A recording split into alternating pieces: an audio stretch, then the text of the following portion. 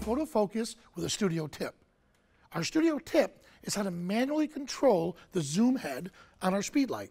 Now normally, you don't have to mess with that. If you were to put your speed light on top of your camera, it's intelligent enough to know that when you zoom in on your lens, the head itself zooms in so it fires that flash the way it's supposed to. What we want to do is take this off camera and put it in manual mode. So now if I were to put this into a light box, what I want to make sure happens is I want to get as much spread as I can. Now each uh, speed light has its own way of doing this, so you have to look into your manual to find it.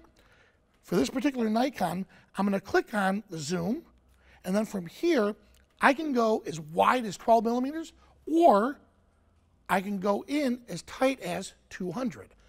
What I want to do is put it on as wide as it can. So in this case here, it's 12. So when I put it inside that light box, the light scatters all over the place and it produces a beautiful soft light on the subject.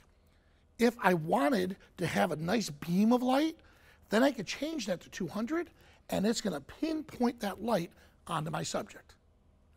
I'm Vanelli with Photofocus. Thanks for watching.